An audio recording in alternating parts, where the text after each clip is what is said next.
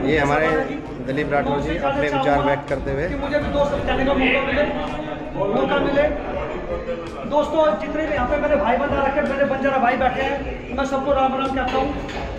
आज हमारे लिए बड़ी खुशी की बात है, बंजारा समाज के लिए बड़ी खुशी की बात है। आज हमारे लिए दिल्ली चौक के लिए, जो दिल्ली के लोग यहाँ पे बैठे हुए हैं। कि उमेश यादव जी ने हमें इतना बढ़िया मौका दिया है दिल्ली के चौकों को, दिल्ली के गुहारों को, और साथ में हमारे काशीनाथ जी जो उनके पी साहब हैं उन्होंने दिल्ली चौक का शायद ही कोई ऐसा गुहार हो जो परसों उन्होंने या परले दिन उन्होंने हमसे कहा ना हो कि सबको कहा जाए कि 10 तारीख 10 तारीख अगस्त को 10 अगस्त को 2022 को अंबेडकर भवन, नज़दीक लिमिटेड होटल कनोट प्लेस, वहाँ पे एक अपने लक्की शाह बंजारा की जयंती मनाई जा रही है, जो मेरे ख्याल पाँचवीं बार मनाई जा रही है लक्की शाह की शायद दूसरी बार मनाई जा रही है, उससे पहले सेवालाल महाराज की मनाई गई थी, उसी में।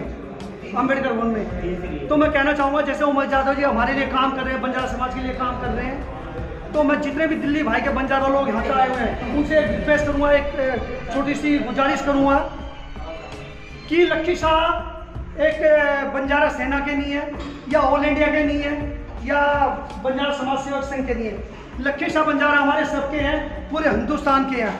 वो हमारे धर्म गुरु हैं लक्की शाह बंजारा। हमारा सबका धर्म ये बनता है, जैसे उमेश यादव जी कह रहे हैं कि 10 तारीख को जितनी ज़्यादा जनसंख्या में हो सके, उतनी जनसंख्या में अपने बंजारा भाइयों को लेके आओ, अंबेडकर भवन के अंदर। और इस प्रोग्राम को सफल करो।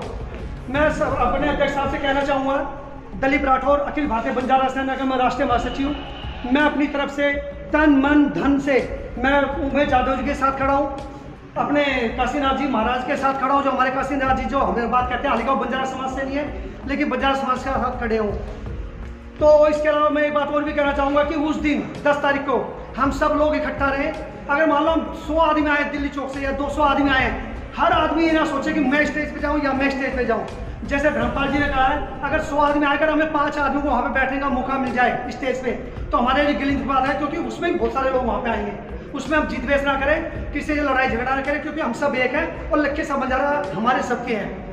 तो मैं सबके लिए धन्यवाद कहना चाहूँगा क्योंकि टाइम बहुत हो चुका है। धन्यवाद। जय सवाल महाराज। जय लक्ष्मी साहब